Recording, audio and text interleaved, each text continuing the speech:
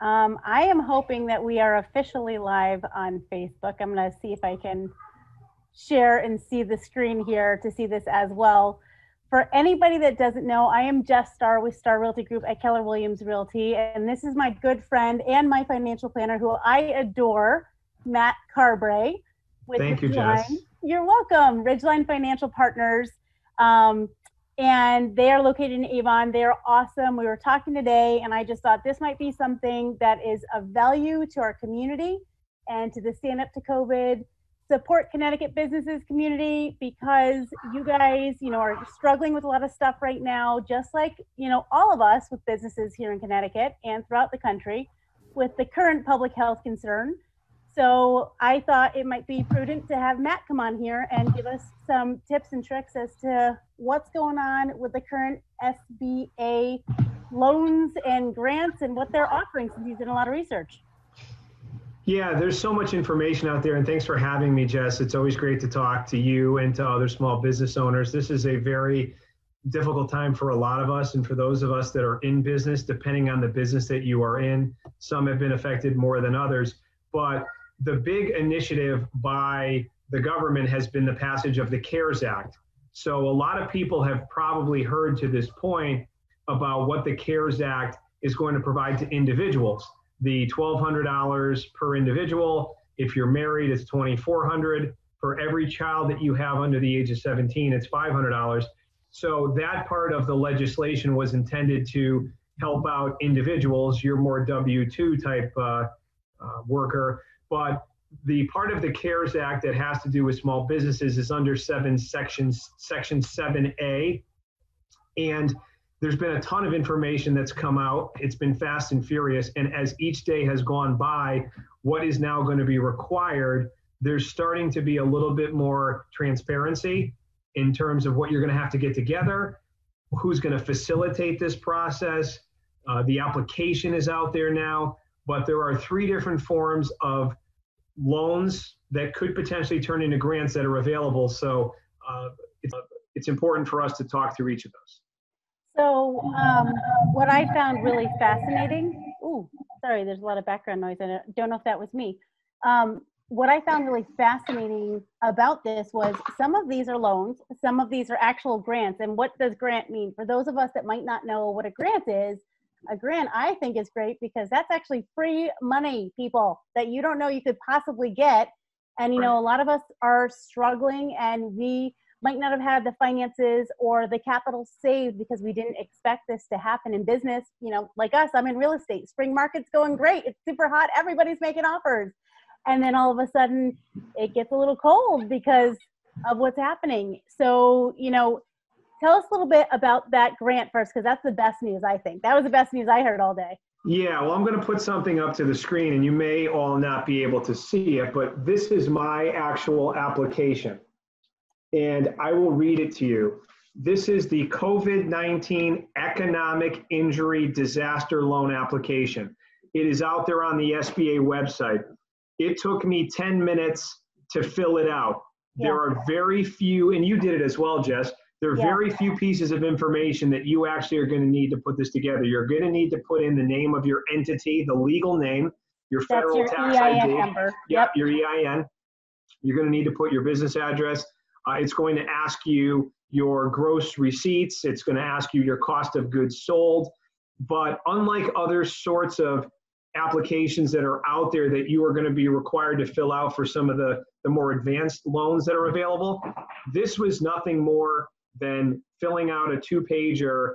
Uh, the basis for whether you're going to be eligible for this is not going to have anything to do with how much money you have and, and what your business does. This is a $10,000 grant. And let's remember what a grant is that is money that is given to you without the requirement to pay it back and without it being considered taxable income. Yeah. So if we're looking at the hierarchy of money that's out there, it all starts with grants because that's money that you don't have to pay back. Then it's very low interest and long extended loans. And then it's some of the shorter term loans that are out there.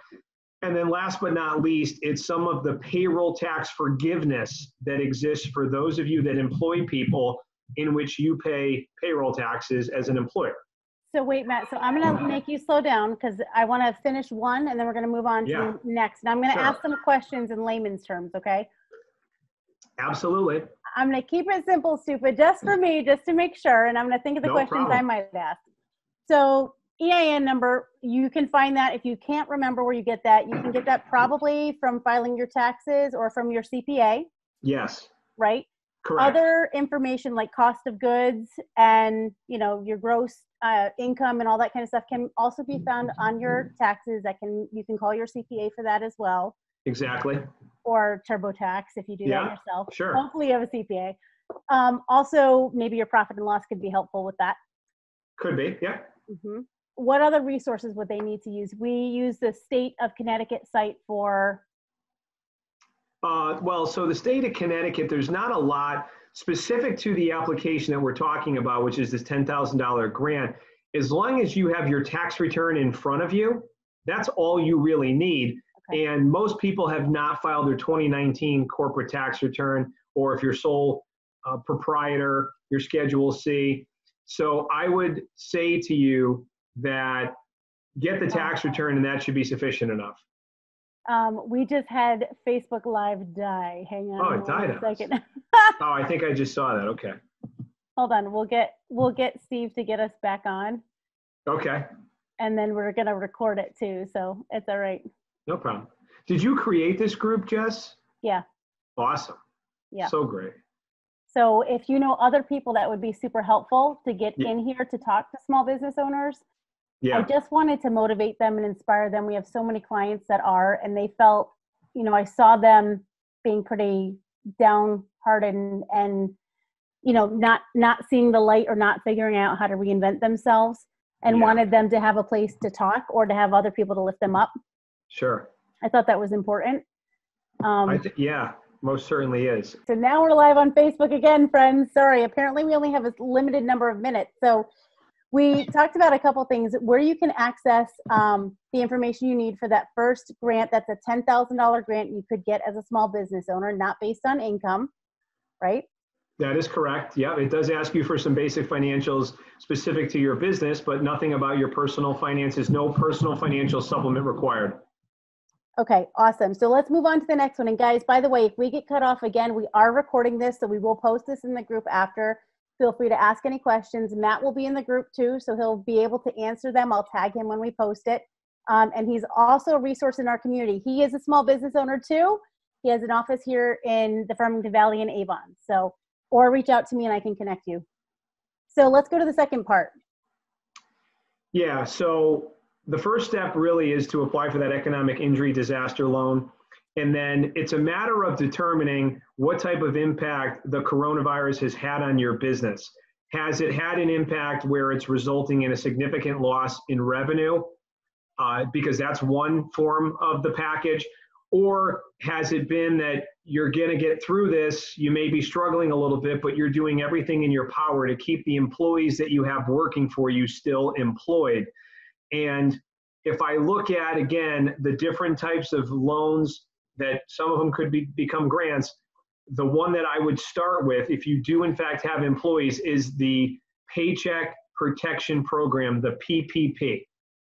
PPT, right? PPP, three P's in a row. Oh, I don't know why I said that. I must have been thinking about my kids, all this homeschooling. all right. So let's talk about the, the Paycheck Protection Program. The way that that effectively works is that they're going to look at the payroll that you have had since February 15th of 2019 through June 30th of 2019.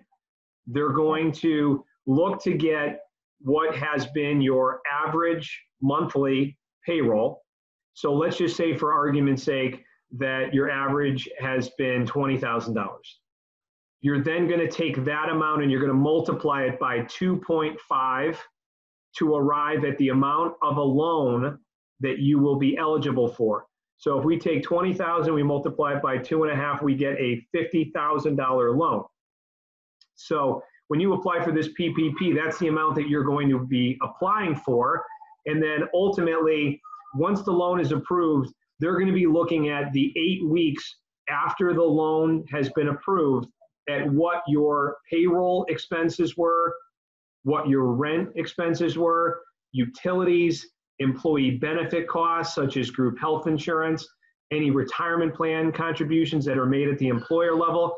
And there's a couple of other different uh, line items in there, but depending on what those expenses are, they are going to potentially forgive up to $50,000 of that loan.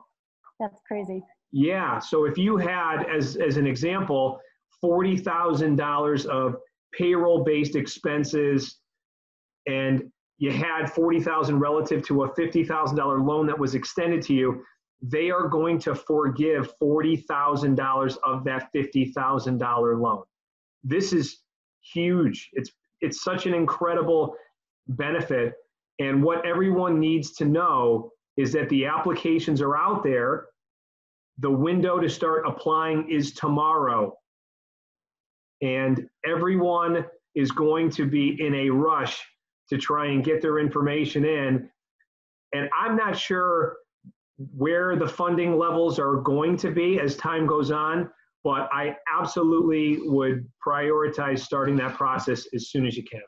So Matt, you, the, the screen actually froze when you said the application deadline is, is it, the deadline is tomorrow? No, the applications can start to be submitted.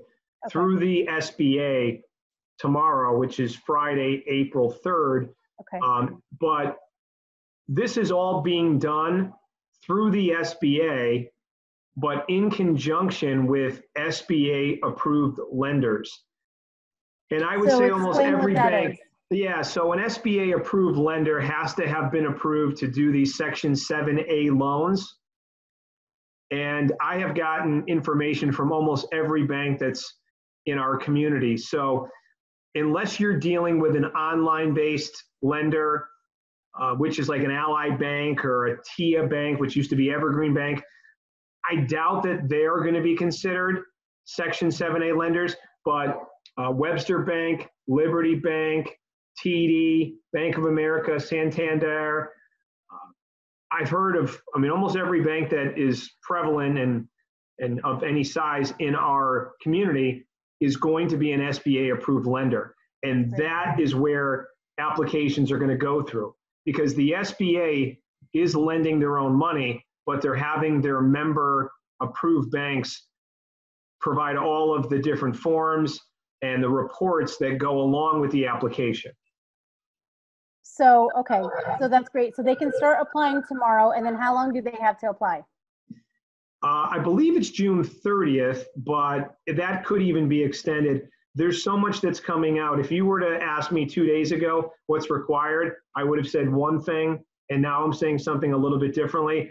Uh, so get get the process going tomorrow. I, I honestly think that the faster you get to this, the faster the money's going to be made available to you, and then that eight week clock starts, so that once those eight weeks go by, and you then provide the documentation to support, well, here was my payroll before, here's my payroll now, that's where the loan forgiveness is going to come in. Right now, the banks don't really understand who's going to be involved in that process of verifying things, whether the bank is going to have a liability for people that submit applications that aren't truthful. There's a lot of back and forth right now with the SBA and the banks, but what I do know is the process starts with the banks and then after the loan has been extended in terms of the supporting documentation, that most likely is going to go to the banks as well. Okay, okay, great. So that's great. So um, what else do we need to know about this PPT, PPP loan? Yeah, so I guess what you need to know is that it is incentivizing businesses to keep their people on payroll. Because if you are going to be removing people from payroll, it asks you on the application. Let me just pull mine up for reference here. Uh. Um, it asks you the number of employees right on the first page. So they're going to want to know how many employees you have today. And then when it comes time to going through the process of determining what is going to be forgiven, they're going to want to know how many employees you have then.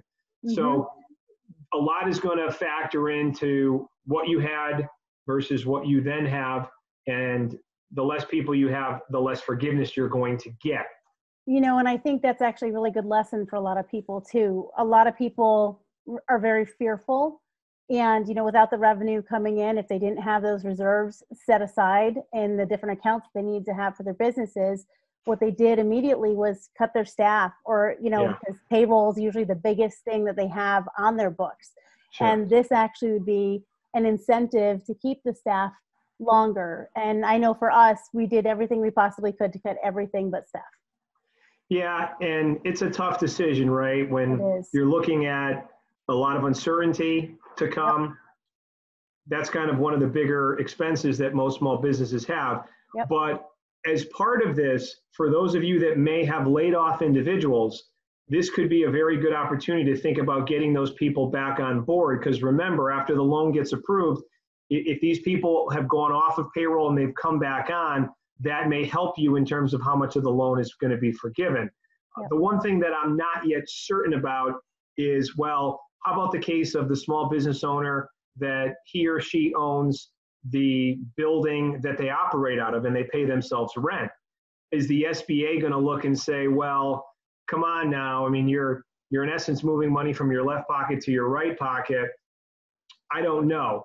Uh, I I haven't heard anything where they're really going to get into the weeds and they're going to say, uh, you know, who are you paying rent to? Um, so I know Amber Dodge is asking about where to find the form. Is, is that the PPP form you're looking for, Amber? I assume? Where can they find that form? Yeah, so uh, as of a couple of days ago, it was on the US Treasury website, and I'm sure that it's still there, but it also is on the SBA website. So if you go to sba.gov, the first thing that you see is the Paycheck Protection Program uh, sample application form effective March 31st of 2020. So the SBA website is where you could go. The Treasury originally put it out there a couple of days ago, but go to sba.gov. So what we'll do too is when we reshare this with the group, we'll also make sure to put links so that people can access these things too. Yeah, sure. easier. And there's a lot of great information from the U.S.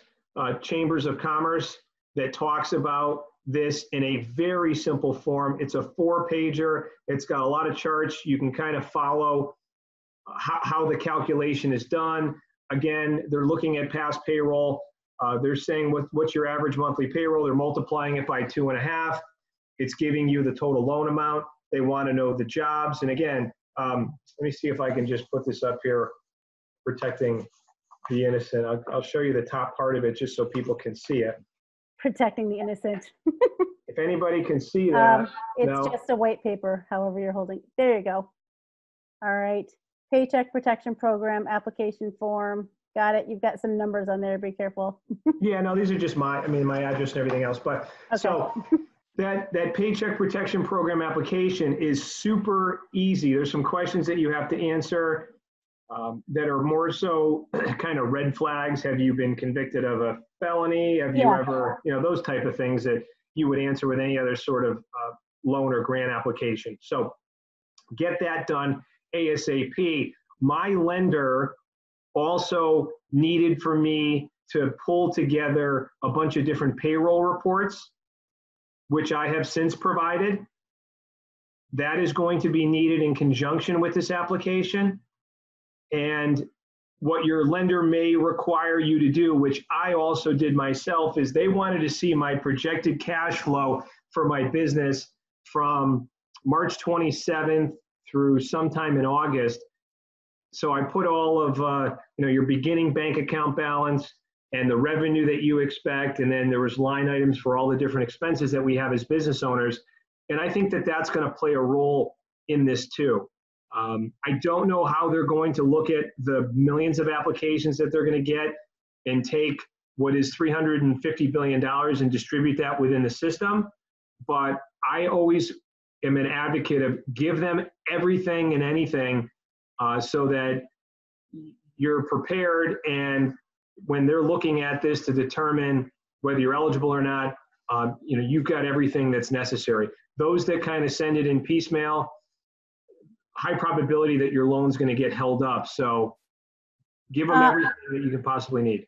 One of the things I have somebody texting us, um, Amber actually, and she said the actual PPP form isn't on the government site yet. If you happen to find the link or know the link and can just email it to me, Matt, that would be Sure. awesome. Yeah. Um, and another person had messaged me and said they think that that um, might be released tomorrow. So that link. Yeah, well, I, again, it's already out there. I've already submitted mine, and my bank has Oh, it. did? So, yeah, it, it Okay. absolutely is out there. If you do a, just a Google search and you put in PPP, which I'll do right now, loan application, uh, one of the first things that shows up is the SBA website. How to attain an SBA Corona. I mean, there's a lot of stuff out there, but the actual application is right there on SBA.gov. So put in PPP loan application, and then you can download it. And uh, Okay. you can't see my screen here, just, but I have a blank one in front of me. It's four pages. Um, I wonder if we could share his screen.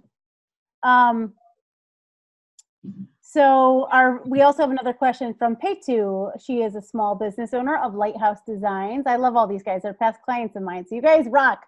By the way, Amber Dodge has timeless designs. They do clothing, my shirt that I'm wearing, and the hats they did for Starr Realty Group are awesome. Peitu is awesome Lighthouse Designs too. But she's asking, um, she's a small business owner and doesn't have employees. Uh, there's only two owners. Can they apply for this PPP? Yes, they can. Oh, So I have two clients. Um, it's very similar situation. They are owners. They do not have any employees, and they are also eligible for the PPP. Uh, the first thing that I told them to do is exactly actually what I did for myself and what I advocated for you to do, Jess, which which was to fill out that economic injury disaster loan application first, which is the ten thousand that we've all hopefully by now we're all aware of. But that was done immediately. yeah, absolutely. Uh, and then the Paycheck Protection Program, if it depends on what type of structure you are. So if you're an S corporation, well, you're on payroll, so you would have that payroll data. If you're not, it's going to look for your Schedule C information. Um, If you're a 1099 employee, for all my realtor friends watching, how would that um, affect them or apply if they're if they're just an individual agent, let's say, and they're or even if they're an agent on a team and they're a 1099 employee, could they apply for that small business loan? yes, Ah, so really, yes. that's amazing. Yeah, it is. So that's why there's just so much confusion out there about all of this is people are sitting there saying, well, I'm self-employed, I'm 1099, I'm not considered a self-employed individual. Yeah, you absolutely are. So I, I was talking to an accountant the other day who is a sole proprietor and he's not even incorporated. He's not even an LLC. It's just Jim Smith uh, CPA services and he's eligible for that $10,000 grant, and he's also eligible for the PPP. Let me ask you a question then with that. If that's the case, then how do they have an E? Does everybody need to have an EIN number? Do they all get an EIN number? No, This so might be a a, foolish question. Sorry. no, it's a good question. So what it actually says on the application here is your business TIN, tax identification number, or social security number. So Ah, you don't need to have an EIN okay, good. to be able to apply for this. Yes, that's so exciting. So basically, all individual realtors could also apply. Loan officers could also apply. Yeah, the one thing that I'm not sure, right, is with respect to those that are self-employed. So what are they going to look at as the basis for how much of a loan that you can get?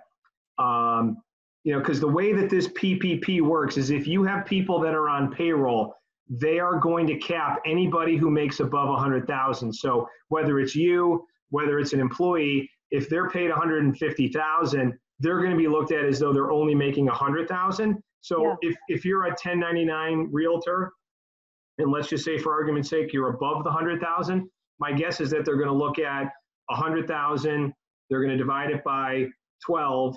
That's your average monthly payroll. They're going to multiply that by two and a half, and that's what you may be eligible for. Now, what I don't know they're going to do is look at in terms of the forgiveness and say how much is going to be forgiven because it, it goes against what this whole program was set up to do, which is companies that are keeping people on payroll, and the forgiveness is based on that. So, still a lot to come out on that. Uh, I haven't heard anything yet to this point about how they're going to treat those that are self-employed uh, when you factor in the forgiveness. So, could those self-employed people, the 1099s, would they be able to apply for the economic injury disaster loan? Yes, and that's where they should start. Uh, that's where I would see sure. them doing it first. Yeah. So, like people like Peitu, that has a small, she's a small business owner, and Amber, they could apply for that, and like individual 1099 single agents or even agents on teams could get that $10,000 loan. Absolutely. And uh, again, they could also most likely qualify under the Paycheck Protection Program. The part of it that's unknown if they do not, in fact, have employees or the employees are themselves and they're putting themselves on payroll, how is it all going to work in terms of the forgiveness? Mm. That part is still up in the air. Everything that we've been dealing with has been with businesses that have employees other than the owner. Yeah. You know, but listen, I think you apply for everything possible. And once you determine whether you have been approved or not, it's at that point that you decide do I really need the loan or do I not? And if I do need the loan, well, you probably should take it because the terms are as good as anything that you're ever going to get. The terms that we're looking at for the PPP, a 1% interest rate. That's crazy. Yeah. A one and, and a six month deferment on when payments start. And from what I'm seeing, it's a two year repayment. So ideally, if we can all get through this together and get back to our normal routines and get our businesses operational again, we should have plenty of time to be in a position to pay this off. Uh, so, really, really good program, as good of any program that I've seen, even going back to 08 and 09. The stimulus that's available here is far superior to anything that was available back then. So, so um, two things. One, there's a question I'm going to ask you real quick sure. too. Um, but two, with that um, PPP loan that you could get with that 1% interest rate, we had even talked about it. You know, it would be smart to take that loan, see what they're going to forgive on that, and then if you're a company or a business that actually has the funding and don't like to keep debt, you can also not take the rest of it or pay it back immediately so you don't have to pay the 1% interest. Yeah, there's no prepayment penalties at all. So take as much as someone's willing to give you. You may find, depending on how long this goes and what effects that this has to your business, that you could use it. Uh, but right. again, the more you take, the more potential there is for forgiveness. And right. if you, as an example, are eligible for $100,000 and 50,000 of it's going to be forgiven, uh, it doesn't say that you have to use all 100,000. You can decide to pay back that other 50,000. Right. So that's I think that's another amazing option too. So you have it as an option. You don't have to use it. You can give it all back, the portion that you want to give back, and keep what yeah. they gave you. Sure. Um, yeah. So and one last thing, Jess, is with the money that is forgiven. One, you don't have to pay it back. But secondly, it's not considered taxable income. Oh, that's awesome. Yes. So, you know, sometimes when you have debt that's forgiven, such as in the case of, uh, you know, if you have a, a credit card company that you negotiate with and they forgive 20,000 of your debt and you feel like you've won, well, then you get a tax bill for a discharge of indebtedness and you have to pay tax on it. That is not yeah. the case here. This is the best form of money that you could possibly get because you don't pay it back and you don't have to pay taxes on it. Right. So that's great. So this, hopefully you guys are finding this useful. I think this is amazing. Now we have another question. Um, the lovely Christy DeConti is asking if she has a um, child care center and when everything started coming out, she actually closed her doors and it was probably one of the right things to do for her just because of everything going on. And yeah. um, she was asking if she should hire back her employees she laid off in order to get the loan. So that's a really good question. Now, the what I would say to you is it's it's a two-part answer, right? Do you really need those people uh, to run your operation? And then secondly, you have to look at the criteria that's going to factor into the forgiveness. So they're going to look back and want to say, how many employees did you have at a given moment of time? And then eventually they're going to want to look to see how many employees that you have uh, during that repayment uh, type, that eight week period.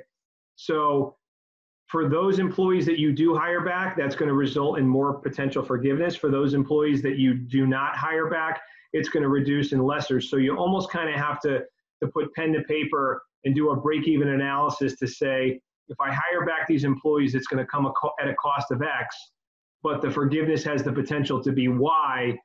So I am strongly recommending that anyone who's thinking about going down this road, the steps are to get in touch with your CPA, get in touch with your commercial banker, because again, everything is being done through these SBA Section 7A lenders. And I've been doing a lot of that over the last couple of days in preparation for tomorrow with getting CPAs and bankers on the phone together to make sure that we're getting all the information for the application. But you need to get everybody on the same page.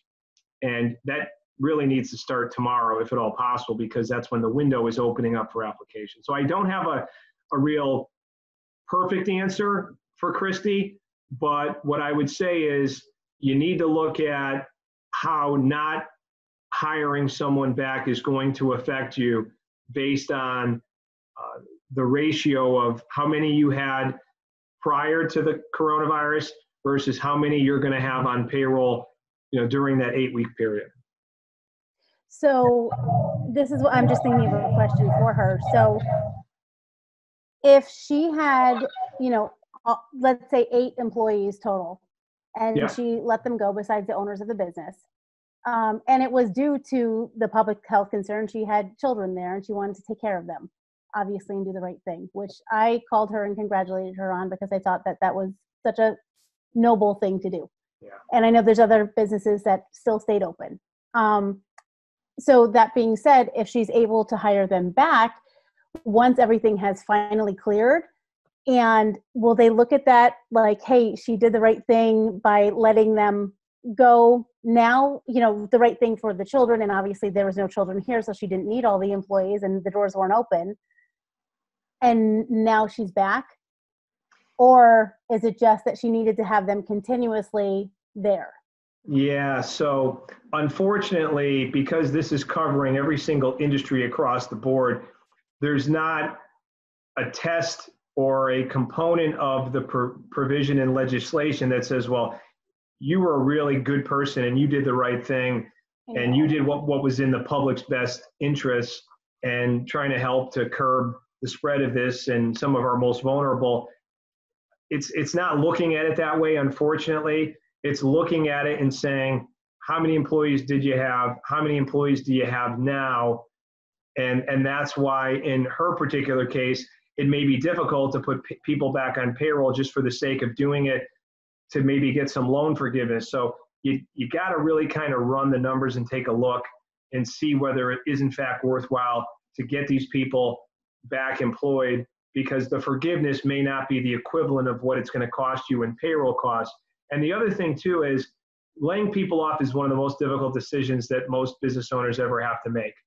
But with the CARES Act, and this is specific to individuals, the federal government is kicking in up to another $600 a week on top of what the state of Connecticut is giving out. And they're doing that for four months. So not many people are aware of this. We all care about our employees. I've decided to keep everybody on board because I really need to in light of what's going on here. Um, but other businesses may not be as fortunate because they're effectively shut down because they've been shut down by the state and other mandates. Uh, but you know, again, what I think is important with with all of this is to realize that your employees are actually in a fairly decent position. So if you really care about your employees, which I think we all do, realize that with the federal stimulus that's being provided on top of what the state of Connecticut is providing, our employees all should be in a pretty good place. Okay. Um, we have Amber asking Sure.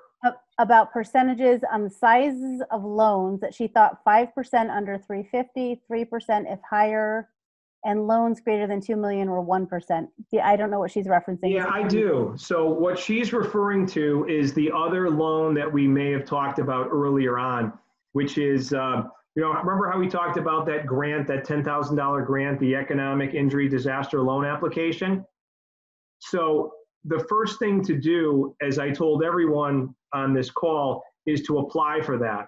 But what that actually is, is an extension and it is, uh, you know, they're forwarding you money towards what could be a much larger loan. So for those businesses that have had an incredible reduction in revenue and profitability, they could apply for that loan. Now, she is in fact correct, correct. Depending on the size of the loan is going to determine the interest rate and the repayment terms. I'm hearing that these loans can be stretched out for almost as long as 30 years. And the interest rate is, is going to be higher than the PPP. But there's nothing that precludes you from applying for all three of these. And I have a lot of businesses that are applying for all three. Why not? And then when you figure out what has been made available to you, then you can decide, well, you know what, I want the PPP because I feel like I'm going to get a lot of forgiveness from that. Uh, but you know what, maybe I also could use the economic injury disaster loan as well because my business is off 50, 60%. Yeah, So you don't have to pick and choose. I would apply for everything, especially if you feel as though you're going to need it, and then make a determination after you've been approved what capital you want to access first. okay, so, and that's the, that would kind of be the final step out of all of them? Yeah, and you can really get the two uh, loan-based programs accomplished at the same time. So the economic injury disaster loan, so you get 10,000, which is kind of extended to you. And if you are eligible for additional, they'll reduce whatever you get by that 10,000. Uh, Okay. the, so after you do that, then you apply for above and beyond 10,000 up to 2 million. And then what you also would apply for is the Paycheck Protection Program as well. Uh, the first 10 grand that's free, take it, obviously. The Paycheck Protection Program, because of the loan forgiveness, that's really the second place to term to, to turn if, if that's relevant to your situation, or if your business has just absolutely been torn apart by this. And if we think about businesses that fall into that category, it's anything that is restaurant oriented, hotels, anything travel, leisure, uh, they're most likely going to be applying for the economic injury disaster loan application because most of those employers have completely laid off all of their staff, maybe absent a, a select few. So there are three different programs, um, and most of you should probably apply for all three. What was the third one called, though? So there's really two programs. The one that I, I'm calling the free $10,000 is part of the economic injury disaster loan. So that's the one that Amber was referencing where there's potentially $2 million out there. It's that they're extending to you the first 10,000, which we're all going to get when we apply for it. But if you apply for more above and beyond that, let's just say you get 200,000, they're ultimately going to send you 190,000 because they've already given you 10,000. Okay. And then there's the PPP. But that there's three different 190, steps. That 190 would be in loan form. Yes, it would be in loan form, and there's no forgiveness on the economic injury disaster loan. There's only forgiveness on the PPP, Okay. other than the 10,000 that is, is a grant and is not a loan. Okay. And then the only other thing that I think I had seen out there was there was something, and I think it was income based, but something for number of children, $1,200 or something like that? Yeah, that's great. So that's what I referenced uh, the other night on, on NBC 30, where the amount that is available is 12,000 per person. If you're married, uh, it's 2,400. If you're head of household, it's 1,200. Um, there are income parameters by which, if you are above those, you either are going to get nothing or a reduced amount. So in the case of being single, it's 75,000 up to 99,000. So if you're below 75, you're going to get 1200. If you're, and again, it's your adjusted gross income, which is slightly different than your gross income. There are a couple of things that go into reducing down your gross income to your adjusted gross income. It's actually on your tax return. So if you have filed your 2019 tax return, you'll look to the bottom of the first page of your 1040 and there's a line item for adjusted gross income. If that number, let's just say, is 125,000 and you're single, you are not going to qualify for any of the subsidy. If you're below 75,000, you're going to get 1,200. If you're between 75,000 and 99,000, it is going to be slightly phased out. So you will get a partial amount. If you're married, it's 150,000 Combined. to 198,000. So effectively, it's doubled. And that's if you don't have any children. If you have two children, that limit that was 198 goes up to 218,000. And the definition of a child that would qualify is it has to be a child that you claim as a dependent, which is key, and it has to be a child that is under the age of 17. What about four kids, Matt? yeah, listen, Jess, um, the more the merrier. I'm just asking. Yeah. So, um, but what's important to understand about this is that they're going to look at your 2019 tax return. If you have not filed your 2019 tax return, they're going to look at your 2018 tax return. So if you're on the borderline here of whether you're going to qualify or not, there's some planning here. You know me, I'm always thinking about planning Yeah. and things that you can do to maybe uh, strengthen your case to get some money here. If you had a really uh, good 2019, but a not as good 2018, you may w- want to not consider filing your 2019 return right away because they'll look to your 2018 return to determine whether you qualify or not. And then there is a test that the government is, is going to have where they're going to look next year and say, well, geez, based on your 2020 return, would you have qualified or not? Because again, the coronavirus is impacting more people in 2020 than it is in past years. And if you would have qualified in 2020, but you didn't in 2019, you will be eligible for money. But if in 2020 uh, they look back and they say, well, geez, okay, now you filed your 2019 tax return, they're going to not take back that money. So they will not come back looking for that money. If you said, base everything on my 2018 return, because your 2018 return, let's say you're married for a second, your adjusted gross income, and let's say you don't have any kids for a second, was 148,000. But in 2019, your adjusted gross income is 202,000. You're not going to qualify based on your 19 return, but you're going to qualify based on your 18 return. So I would not file your 19 return until you get the stimulus because they're going to look back to your 18 return. And then in, uh, when you go to file it after the fact and they look back on it, there's nothing in the law that says they can take that money back from you. So you really want to understand your adjusted gross income in 18 relative to 19. And before you hit the send button on filing your tax return, just know what those limits are. So when you see your adjusted gross income for, you know, keep it simple, stupid, what area are you looking at on your tax return? Yeah, so it's really the bottom line on, uh, let me see if I can find it, Jess, but it's on Yeah. your 1040. Like, be specific with people. What section of your 1040 do they need to look at to know their numbers? Yeah, so let's see here. Sorry, I'm a pain in the butt. You know that. No, no. Yeah, I want to just make sure that sure that this is as clear as it possibly can. I know they've been changing this around a little bit, so let's get. Uh, I'll pull up section 1040 here, so whatever. And as you look for where that adjusted number Sure. is um, for income, I wanted to know when will they start sending these checks out? And what is this? What's the name of this stimulus? Uh, it's called it's called the CARES Act. The CARES Act for the 1200 or the 2400? Yes.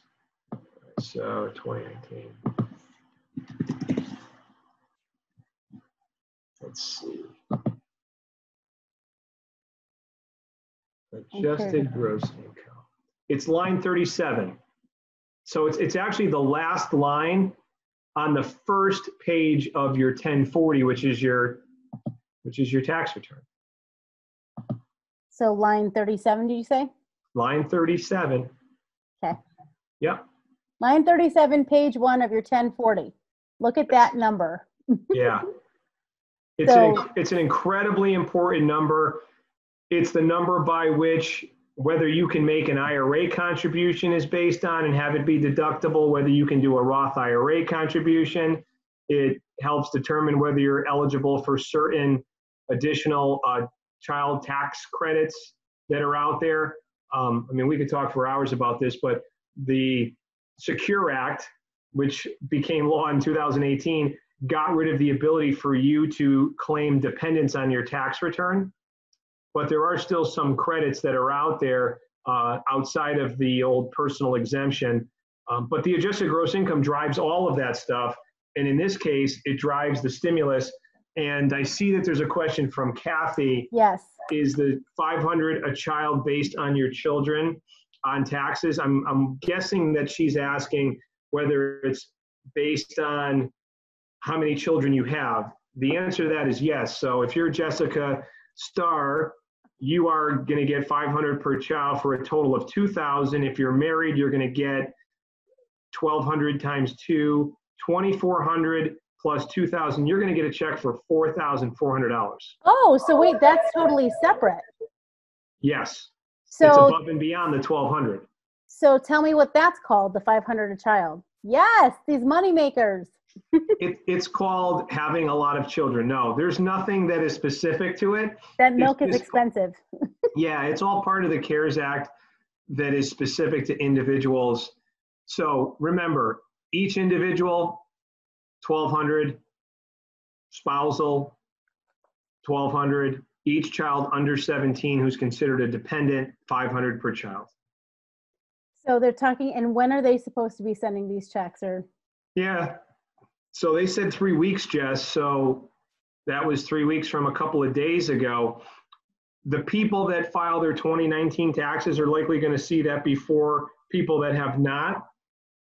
So if you know that you're going to qualify, if you know you're going to be above those income limits, and you don't have to kind of play that game where, you know, your 18 is going to put you in a much more favorable position than 19, well, then go and get your return filed ASAP not only are you most likely due a refund because most people get a refund, especially if you're a W 2 employee, um, business owners, whole different story.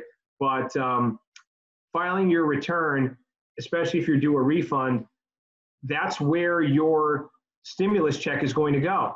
Because when you file your tax return, you provide banking information if you are, in fact, due a refund. And the IRS is going to be sending the checks which aren't going to be physical checks. They're going to be sending those dollars right to your bank account. I'm laughing because Amber Dodge is at it again. Read her qu- question. Oh, Amber, okay. Is there a cap on the number of kids? No. Oh, phew, I can keep going. Keep going. there is no cap on the number of kids. All right, awesome. So, I mean, I think this was incredibly informative. I know I was thrilled to hear this, and I hope this puts a little pep in some of our business owners' steps. That's what Yeah. my goal was tonight. Um, ideally, we're going to start doing some of these to motivate everybody, get some momentum going, and keep our economy going here in Connecticut because that's very important. Um, Peitu is also asking um, if you're divorced with three kids, I would assume that that would be the 1200 and then 1500. So 1200 for you, Peitu, and 1500 depending upon your income. Yeah, depending on your income, you could file head of household where those income thresholds actually, uh, it's it's almost I think it's somewhere in the middle. I want to say it's 112,000 if you're head of household that they're going to look to as your threshold. But what is most important is who has the right to claim kids as a dependent Right. on the tax return. So you can't deduct children anymore as uh, for personal exemption purposes. But dependent, who who claims them as a dependent is going to be important. And most people that get divorced, a divorce decree is going to determine who gets them in what years, if not all years. So um, yeah, it's going to depend on how you file your return and whether your kids are on your return as a dependent or not. Yes. So I hope you guys found this useful. Matt, are there any other tips and tricks that we should be looking to do at this time? No, I would just encourage everyone to get on this. The money is not endless. I feel strongly that of the stimulus that's going to be pushed out into the system, that the monies that are going to go the fastest are going to be the small businesses because the government is going to more so control money's going to large corporations. So I would make this a priority. We're not talking about small amounts of monies that are being made available. And this is a once in a lifetime um, opportunity for you to get the, the money that you may very well need to keep your business going, but also uh, to have incredibly favorable loan terms. And then lastly, the potential to have those loans forgiven, which is awesome. That's awesome. You know, um, one other thing I want to mention too, because I know as business owners, you know, we look to cut things and cut expenses and trim wherever we can. And if we're doing that as business owners, we should be doing that on a monthly basis anyway, never mind when a pandemic happens. That should just Right. be a good business habit to have. It's just good business. Absolutely. So here's the thing one of the things I was going to do in my frantic panic was potentially cut investing for a little while, just put it on hold into my own retirement to make sure. And I keep substantial savings just for times like this. And yet, that was one of the things I was going to cut because I just wanted to make sure I had even more just in case, you never know. And then I thought realistically, and I had a I have amazing people I surround myself with that are much smarter than me, just like Matt Carbray. So that's why I count on them when I'm making decisions. So I reached out to him just to ask a question if I put some stuff on hold. And he said, Jess, if you're investing in your future and your retirement, why wouldn't you want to keep investing into those things when you're buying them at a third of the value they typically are when the market does rebound? So I would still encourage you if you do have those extra funds. That's my my piece of advice because I realistically snapped out of my mindset and go, "Oh my god, what am I doing?" The most money to be made ever is when there is a shift in the economy. So although it seems fearful and although it seems scary and sad, you can also do very very well if you're smart with your dollars and cents. So keep investing into your retirement if you can. Um, you know, that was a really important lesson. So, Matt, you can talk about that real quick if you want. Yeah, the hardest thing to do is to continue to throw money into a market and into any sort of investment when everything is telling you to do the opposite. But you touched upon it, Jess. The old saying by Warren Buffett is to be greedy when others are fearful and to be fearful when others are greedy. Exactly. We very much so have an environment where everyone is fearful. And if we look at all of the past bear markets, corrections, recessions, however you want to categorize it, we live in an incredible resilient, resilient country that has proven time in and time out that we've been able to get through these periods. And this is something like nothing else that we've ever seen, at least in modern history, where a health related global pandemic has really driven our economies to the, the point they're at a standstill. But I feel confident that whether it's the medical community, whether it's just our own human behavior and us being smarter and thinking about our fellow neighbors, that we're going to get through this. We're going to get back to our normal routines. We're going to get back to having our businesses open and vibrant and people coming through our doors. Um, and that's why I feel strongly that those that are investing now uh, and continuing to invest are going to be much better for it because you're effectively buying into a stock market that is 30% off its high, which was really just a month ago. So Mhm. stay committed. Um, if in fact you can afford to continue to do it, that would be one of the last things that I would would cut. Um, keep saving. You'll be better for it in the long term. And you know what? It's still always good to have that nest egg. You Sure. know? There's something to be said for always having a nest egg too. My my daddy taught me that, and so Yeah. I always have. So I Great- thought that great. that was something. Really good advice. Yeah, I mean, listen, no one ever thought that we would be at this point, but I think what we can take from this is the importance of having emergency reserves, the importance of having lines of credit that you can access. I always tell my clients, get a line of credit. And they often say, well, Matt, I don't need it. I said, that's exactly why you need to get it. Because when you need it, it's going to be very hard for you to get it. So I, I would say as soon as we get out of this, it's incredibly important to build that six to 12 months of money that you can get your hands on in the short term and then get a line of credit. It doesn't cost you anything if you're not using those funds, but have it available to you. It can make a big difference. Matt, I love you. You're amazing. Love How can too. people reach you if they need any advice, if they need an amazing financial planner? I know I'm so blessed to have you. I found you years ago and I will be forever in your debt because you're amazing for us. So how can people reach you? Yeah, so it's uh, my email is Matt with two T's at ridgelinefp.com. So that's M A T T at ridgeline F as in Frank, P as in Paul.com.